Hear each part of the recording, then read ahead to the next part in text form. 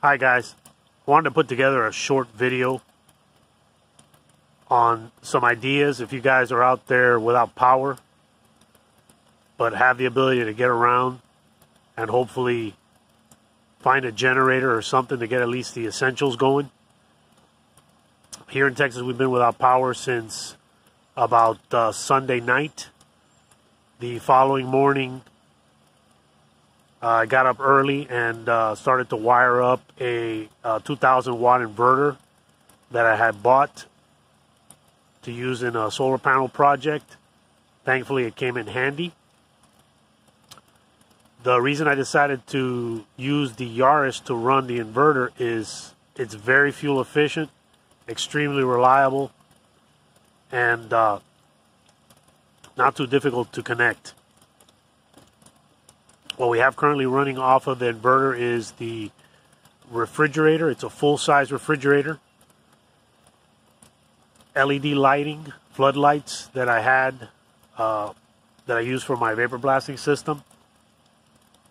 Our Wi-Fi, our fiber modem, laptops, cell phones, and uh, the, the occasional power tool if I need it.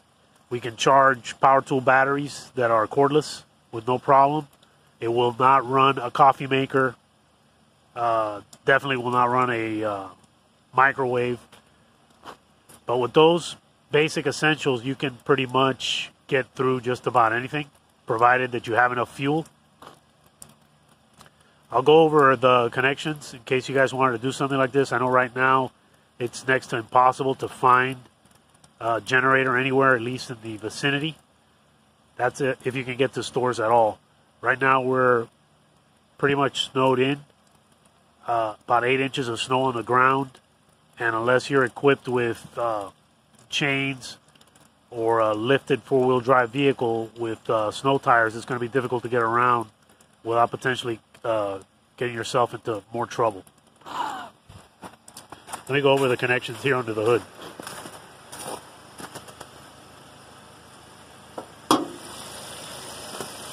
The inverter is connected to the car battery directly using double aught cable. The maximum length for the inverter suggested by the manufacturer is six foot. The longer the, the run, the less effective the inverter will be. I chose to go with a three foot cable and that uh, puts the inverter far enough away that, it, that I don't have to keep the hood wide open and exposed to the elements. Behind the inverter, you got the two connections. And if you notice on the left side, just above the negative wire, there is a shielding cable, a ground cable. It's important that you connect that ground cable uh, to the earth. And what I did here is it just comes out from underneath the inverter and uh, ties directly to this piece of flat bar that I just pounded into the ground. It's, it's in the ground about a foot. Drilled a hole and used a uh, sheet metal screw on it. This is sufficient for grounding your uh, electric appliances that you're going to be connecting to this. Most extension cords, unless it's like the little white one, they'll have the three pins on it. You got the uh, the, the power pins on the, the, the flat ones, and then you got the shielding pin that's the bottom one. The white cord that I have connected here is hooked up to a simple box fan. And I'm using the box fan to keep the coolant in the radiator cool. It simulates the car driving down the road. It has been extremely reliable. We've been on the Yaris power station here for about two days. This is going on the third day. They're telling us that things should start to let up a little on Thursday. That'll be the, the, the last winter storm. Hopefully, then by that time, some of this snow would have melted. It's supposed to warm up today. I'm expecting more of this snow to melt. As the snow melts and makes it possible for us to get around, we should be able to pick up more fuel. As far as fuel consumption goes, the Yaris gets about 38 miles to the gallon under normal driving conditions. We've been running this car since uh, about uh, 11 o'clock on Monday. and it has gone through about uh, three quarters of a tank of fuel. The gas tank is 11 gallons. We've been blessed to have very uh, wonderful neighbors that offered to make a run for us to pick up some fuel while they were out and about. They have 4x4 vehicles, and getting around was not an issue for them. Uh, we're blessed that they were able to come through for us with uh, seven and a half gallons of fuel, which is more than enough to keep this vehicle running for another three days. You have to make do with what you have, and you have to solve problems as they come up. One more thing, guys. If your refrigerator turns on and starts to bog down the alternator on the car that's idling, it, it will want to shut off. What we did to solve that problem is just accelerate it slightly above idle. So right now the Yaris is running at about uh, 900 RPM. As you can see what I did here for the gas pedal is uh, little box of refried beans and a little spacer there to make sure it doesn't press down too hard on it. Fiddle around with it until you get the car idle just smooth enough that under load it's not going to stall. And that'll that'll do it. So if you can see right now guys, there's the current fuel. Car's been running for uh, since Monday around 11 o'clock.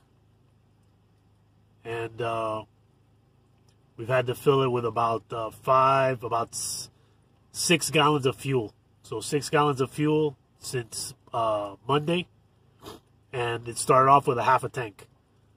So this will run for another three days, no problem. Guys, get creative out there. Solve problems as they come up. And if you can find one of these inverters, I encourage you to pick one up.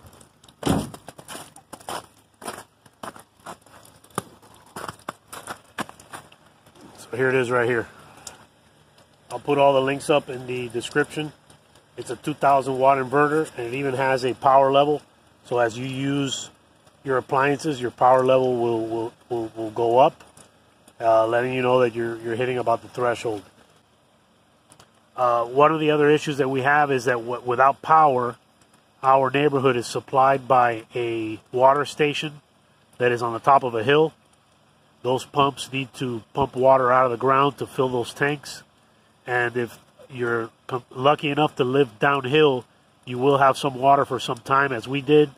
The first day and a half, we didn't have any issues with water. We did have water pressure.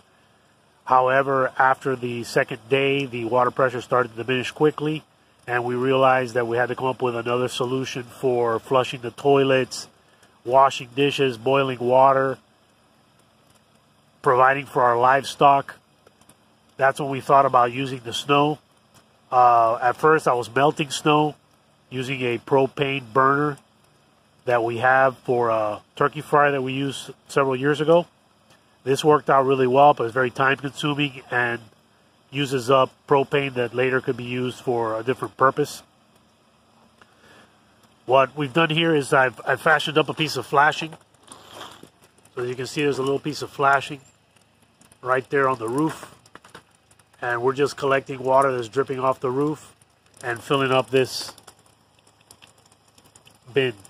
So this is a concrete mixing bin. We've emptied it out about three times already, mostly for flushing the toilet.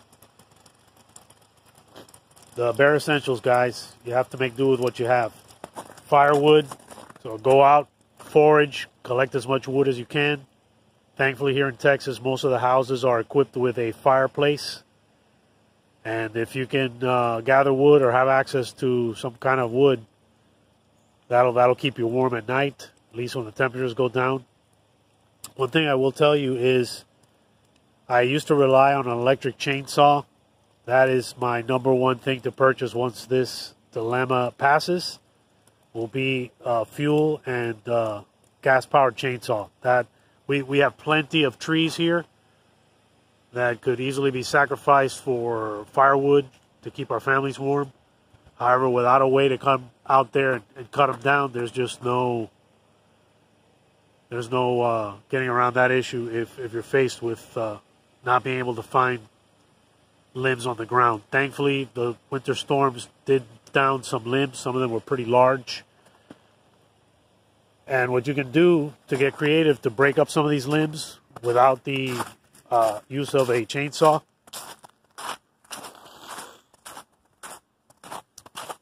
is find yourself some trees like this that are close together. Right, so these two trees are very close together and they're robust. What you can do here is just stick your limb in between that, that V and then just push up against this side to and it'll break it. So you can cut down a lot of those long limbs using just Mother Nature. You just got to look around and get creative. All right, guys. Stay safe out there. Keep your families warm. Till next time. God bless.